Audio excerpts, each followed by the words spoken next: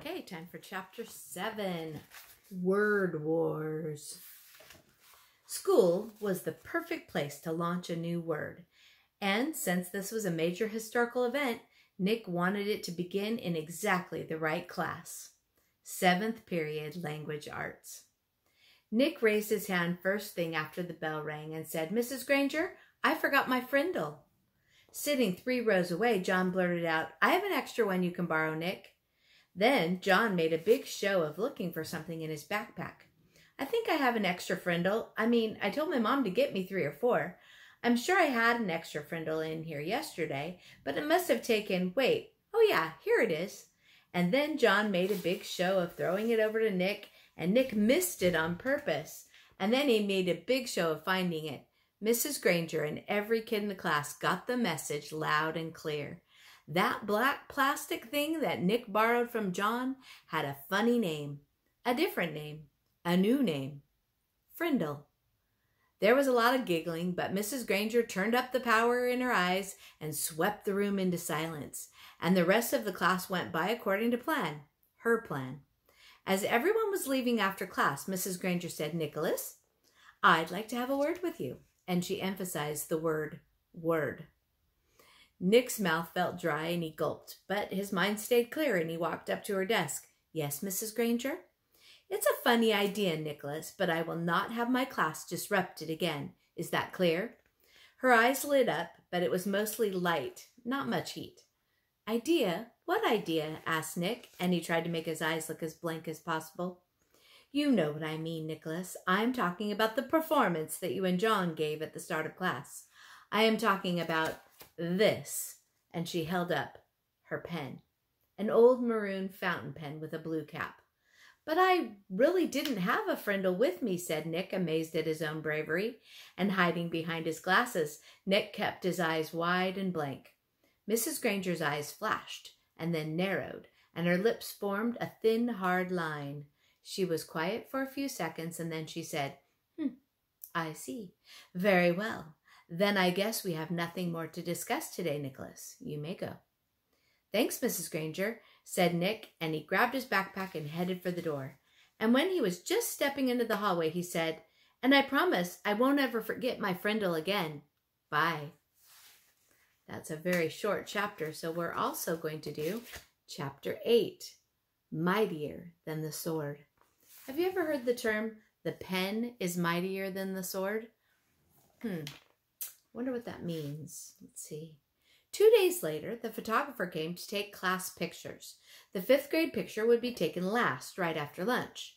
That gave Nick and his secret agents plenty of time, and they whispered something into the ear of every fifth grader.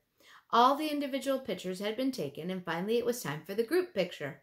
Everyone was lined up on the auditorium stage. Everyone's hair looked great, and everyone was smiling.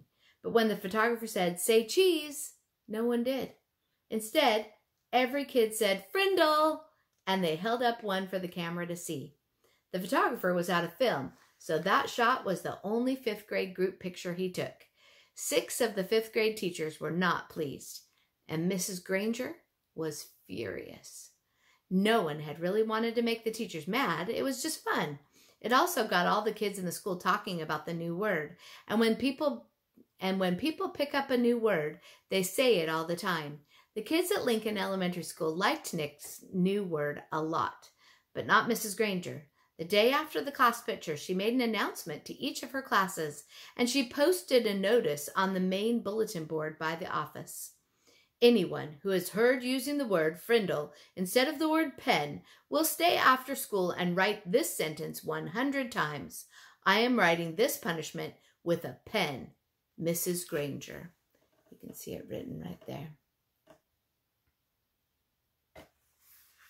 But that just made everyone want to use Nick's word even more. Staying after school with the Lone Granger became a badge of honor.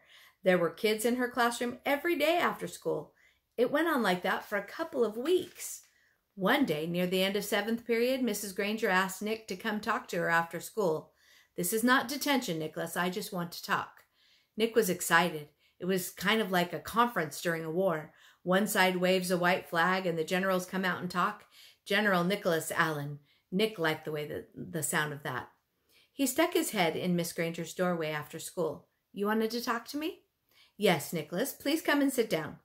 When he was settled, she looked at him and said, Don't you think this Frindle business has gone a bit too far? It's just a disruption to the school, don't you think? Nick swallowed hard, but he said, I don't think there's anything wrong with it. It's just fun, and it really is a real word. It's not a bad word, it's just different. And besides, it's how words really change, isn't it? That's what you said. Mrs. Granger sighed. It is how a word could be made up brand new, I suppose. But the word pen, should it really be replaced by by that other word? The word pen has a long, rich history. It comes from the Latin word for feather, penna, and it started to become our word for pen because quills made from feathers were some of the first writing tools ever made. It's a word that comes from somewhere. It makes sense, Nicholas. But Frindle makes just as much sense to me, said Nick. And after all, didn't somebody just make up the word penna, too? That got a spark from Mrs. Granger's eyes, but all she said was, Then you are not going to stop this? And Nick looked right in her eyes and said, Well, me and I, I mean a bunch of my friends, and I took an oath about using the word, and we have to keep our promise. And besides, I don't think there's anything wrong with it. I like my word. Nick tried to look brave, like a good general should. Very well, then. I thought it would end up this way. Mrs. Granger pulled a fat white envelope from her desk drawer and held it up. This is a letter I've written to you, Nicholas. Nick held out his hand, thinking she was going to give to him, but she didn't. I'm going to send it to you. Send it to you. Uh, wait, I am not going to send it to you until all this is over. I want you to sign your name and put today's date across the back of the envelope. And when you read it, whenever that may be, you will know it is the same letter and that I have not made any changes to it. This is weird, Nick said to himself, but to Mrs. Granger he said, sure, and he signed his name in his best cursive and put the date under it. Then Mrs. Granger stood up abruptly and said, Then that's all for today, Nicholas, and may the best word win. There was a frown on her face, but her eyes, her eyes were different, almost happy. And Nick was halfway down the hall before it hit him. She likes this war, war and she wants to win real bad. And here's the picture of her showing him the envelope that he's going to sign his name on. Walking to school the next day, Pete had a great idea.